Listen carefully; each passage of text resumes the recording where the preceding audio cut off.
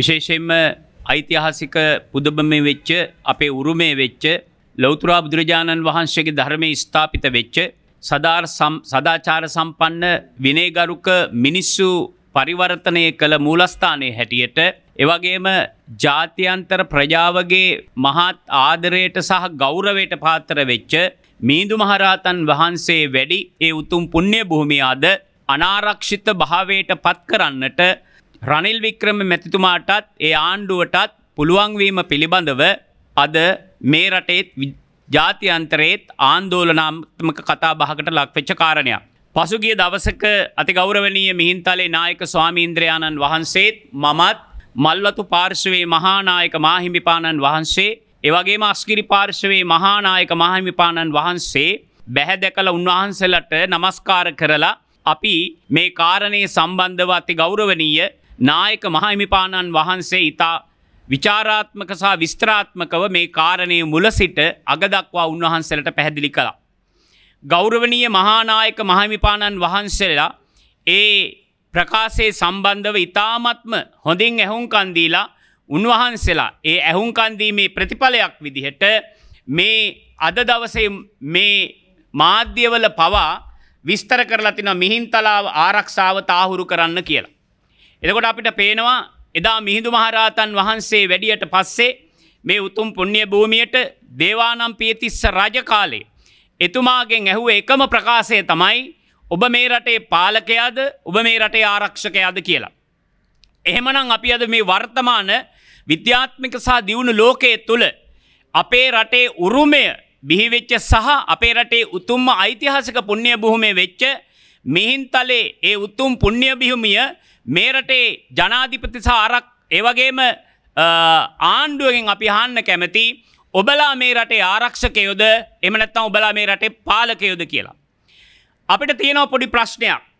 මිහින්තලේ නායක හාමුදුරුවෝ සමග යම්කිසි පෞද්ගලික අර්බුදකාරී මතවාදයක් ගොඩනැගිලා තියෙනවනං ඒක මේ උතුම් පුුණ්්‍ය බොහොමයෙන් පලිගැනීමක් විදිහටත් එවගේම මේ රටේ බෞද්ධ ජනතාව පමණක් නෙවෙයි ලෝකවාසී බෞද්ධ ජනතාවගේ පලිගැනීමක් බවට අද සමාජගත වෙච්ච පරිවර්තනය වෙච්ච මහා දැවන්තාන්දෝලනාත්මක කතාවක් කියන කාරණය අද කාටත් පැහැදිලි.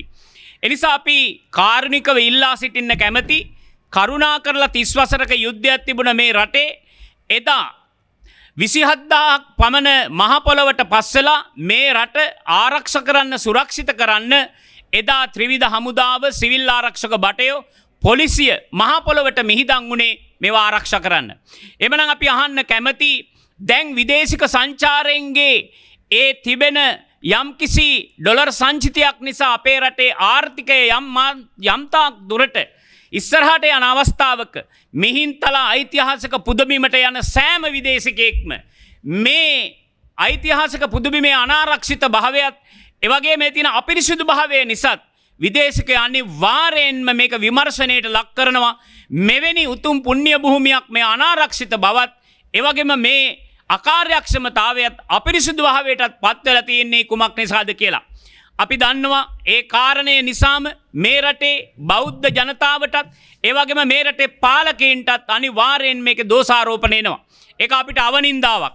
ඒක වගේම අපි කල්පනා කරනවා කරුණා කරලා ජනාධිපතිතුමාගේමුත් ආරක්ෂක අන්සේනුත් ඒවගේම මේ රටේ පාලකයෙන්ගේමත් අපි කරුණා කරලා ඉල්ලනවා මහානායක මහමිපාණන් වහන්සේලාද ඉත්තාමත් වටිනා ගෞරවාන්විතව ප්‍රකාශයක් අද සමාජගත කරලා තියෙනෙ. එනිසා මේ පාලකයෝ බුද්ධිමත් වෙන්න මොකද හේතුව අද ඒ අනාරක්ෂිත භාවේ නිසාමත් එවගේම අපිරිශුද්ධ භාවේ නිසාමත් එදා මිහිදු මහරහතන් වහන්සේගේ ප්‍රකාශි වුණේ අපා දෙපා සිව්පා සියලු සතුන් ඔබ ආරක්ෂා කර ගැනීමේ ක්‍රියාවලිය රජ කෙනෙක්ගේ ව්‍යාපෘතියක් කියන කාරණේදා උන්වහන්සේ මතක් කළා. එනිසා අපි කියන්න ඕන අදේ ඓතිහාසික පුුණ්්‍ය බිහොමිය අනාරක්ෂිත වීම තුළින් ඒ වන්දන මානවලට යන බෞද්ධ ජනතාවගේ ආරක්ෂාව තහවුරු වෙන්නේ නෑ විදේශික සංචාරකයන්ගේ ආරක්ෂාව තහවුරු වෙන්නේ නෑ ඒවගේම සිව්පා සතුන්ගේ ආරක්ෂාව තහවුරු වෙන්නේ නෑ එවගේම හොර තක්කඩි දූෂිතයෝ බිහිවෙන ඒ පුුණ්්‍ය භූමිය තුළ මෙවැනි තක්කඩි වැඩ නිර්මාණය වීමේ ක්‍රියාවලිය දැනටමත් සිද්ධ වෙනවා කියන කාරණය මේ වෙලාවේ පැහැදිලි කරන්න කැමති. එවගේම අපේ සංස්කෘතික ඉතාමත්ම වැදගත් ආධ්‍යාත්මික වැඩපිළිවෙලක් තමයි ඒ කාර්යක් තමයි ලොවතුරා බුදුරජාණන් වහන්සේගේ ඒවගේම මිහිදු මහරහතන් වහන්සේ වැඩි උතුම් පුුණ්්‍ය භූමේ දවසට හේවිසි නද කරන තේවාවන් දවසට මංහිතන පස් වතාවක් සිද්ධ කරනවා.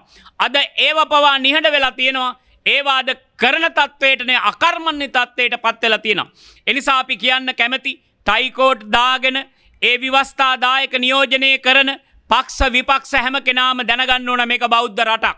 ඒවගේම ඔබලා ඔය පාර්ලිමේන්තුවේ කටයුතු කරන්නේ එවගේම ඔබලාගේ දේශපාලනය කරන්න පුළුවන්කම තිබිලා තියෙන්නේ මේ බෞද්ධ සංස්කෘතිය ඇතුළේ ඔබගේ නිර්මාණය වීමම කියන කාරණය මේ වෙලා මතු කරන්න කැමති. එනිසා අපි කාරුණික විල්ලා සිටිනවා. මීන්තලා රජමහ ව්‍යාරය කියලා කියන්නේ ඔය දේශපාලන පක්ෂ භූමිකාව තුළට පමණක් හිමිවෙච්ච දෙයක් නෙවෙයි.